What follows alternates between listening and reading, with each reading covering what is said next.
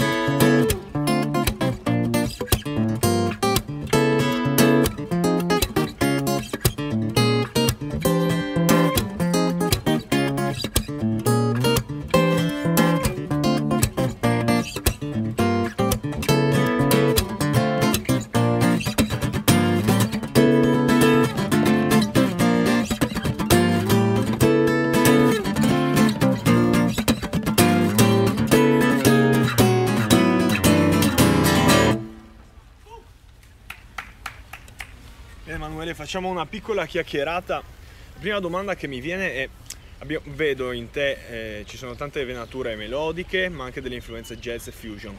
Come eh, vedi lo scenario per un musicista che è molto prolifico nonostante la tua giovane età, come sei tu, lo scenario di un musicista che si presenta da solo e solo lui e la sua chitarra eh, essenziale proprio? Beh, diciamo che con, uh, con, una sola chitarra devi riuscire un po' a riempire tutto, quindi devi riuscire a fare una parte melodica, una parte armonica, una parte ritmica, quindi devi, devi riuscire a, a, unire tutto insieme. E non è sempre facile, però insomma, unendo un po' queste cose riesci a creare delle, delle canzoni compiute, diciamo, come se fosse una band completa. Eh sì, infatti ci sono state delle ottime vibrazioni anche qui nel castello di Miramare mentre hai suonato. Questo pezzo è dal tuo secondo disco e, e ho detto prima che sei molto prolifico nonostante la tua giovane età. Come funziona la nascita delle canzoni per te? Il tuo songwriting, da dove parte?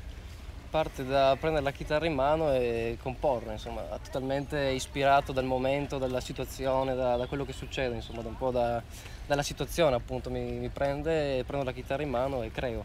Beh, facciamo gran, dei grandissimi complimenti a Emanuele perché è capace di raccontare, nonostante non faccia sentire la sua voce, faccia sentire la voce della chitarra e lo ringraziamo e gli facciamo un grande in bocca al lupo per il proseguio e un, un saluto da Ricky e dal Castello di Miramare. Balconi TV Trieste. Ciao.